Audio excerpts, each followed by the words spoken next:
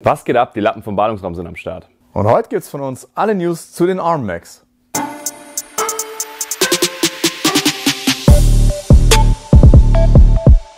Tim Cook hat dieses Jahr auf der letzten Developer Conference davon gesprochen, dass wir dieses Jahr auf jeden Fall noch, wirklich auf jeden Fall, die neuesten Chips von Mac bekommen.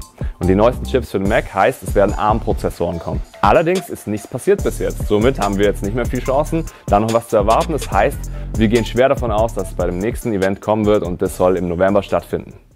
Aktuelle Gerüchte weisen darauf hin, dass für den Dienstag, 17. November, eine Keynote anberaumt ist. Auf dieser Keynote sollen die ersten MacBooks mit Apple Silicon Prozessor vorgestellt werden. Welche Modelle das genau sind, weiß man aktuell noch nicht.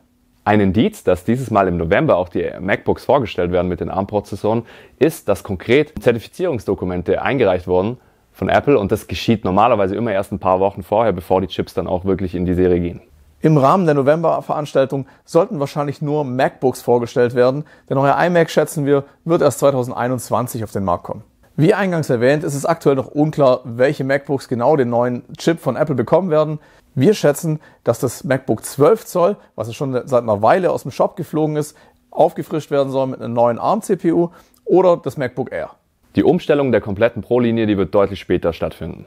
Die bereits in der Vergangenheit immer wieder gut informierte China Times hat die ersten Gerüchte für einen neuen Prozessor am iMac dann auch schon offengelegt, weil sie einfach mit Zulieferern gesprochen haben und da immer wieder Hinweise dafür bekommen haben. Während dem MacBook der A14X zum Einsatz kommen soll, haut Apple wahrscheinlich in den iMac den A14T rein. Der iMac, der den A14T bekommen soll, hat einmal diese Chip-Einheit A14T und eine eigene Grafik-CPU, die sich Lifuka nennt. Ob die am Ende so heißen wird, bleibt natürlich noch dahingestellt.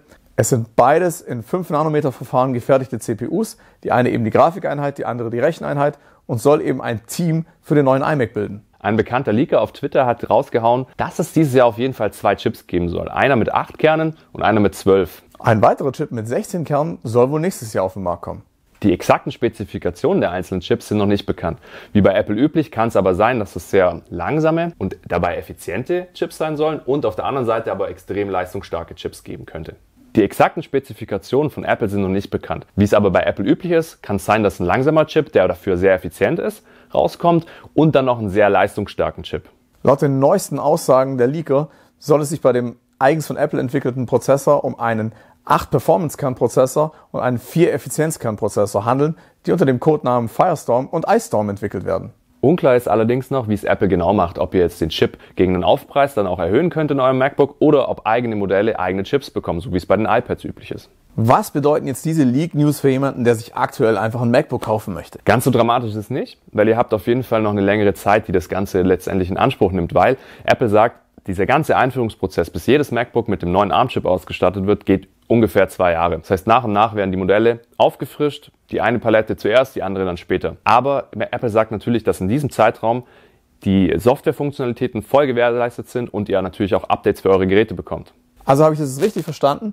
Wenn ich ein aktuelles MacBook Pro haben möchte, kann ich mir bedenkenlos eins kaufen. Genau, das kannst du machen, weil das eh noch ein bisschen dauern wird, bis die Pro-Reihe aufgefrischt wird. Aber wenn du jetzt sagst, du willst jetzt ein, ja, ein neues MacBook Air oder vielleicht sogar spekulierst auf einen MacBook 12 Zoll, dann sollst vielleicht noch die November Keynote abwarten und lass dich überraschen, was da noch bei rauskommen könnte. Von den ganzen Aussagen sind wir natürlich relativ gehypt, auch wenn man jetzt respektive mal den A14 Chip aus dem iPad Air 4 hernimmt und sich da die Leistungsdaten anschaut, was Apple theoretisch leisten kann in so einem MacBook, finden wir sehr, sehr cool und sehr, sehr interessant. Man muss natürlich auch die Erwartungen so ein bisschen dämpfen, denn wir denken nicht, dass Apple damit jetzt das Rad neu erfinden wird. Ich denke vor allem die hauseigene Software wird zu Beginn einfach wirklich davon profitieren. Und ich denke, da werden sie auch erstmal noch nicht so aufs Gas treten und da richtig alles raushauen, weil man da auch langfristig, denke ich, das ganze Thema sich entwickeln lassen möchte und Intel dann doch auch noch ein bisschen in der Hinterhand braucht. Wenn ihr jetzt sagt, euch hat das Video gefallen, lasst auf jeden Fall einen Daumen nach oben da. Wenn ihr auch sagt, ihr würdet gerne weitere News über diese Apple Chips haben, bleibt auf jeden Fall dran, abonniert den Kanal und schaltet die Glocke. Das war's für heute von den Lappen. Für heute sind wir raus. Bis zum nächsten Mal. Tim Cook hat in der letzten vergangenen Developer, Developer Conference ist ja auf jeden Fall noch Apps Max. Heiland, zack! Oh Mann, nochmal. Heiland, zack! Ich kenne kein Wort richtig. Noch einmal, Tim Cook. Ein Indiz. Jetzt habe ich geschmeckt.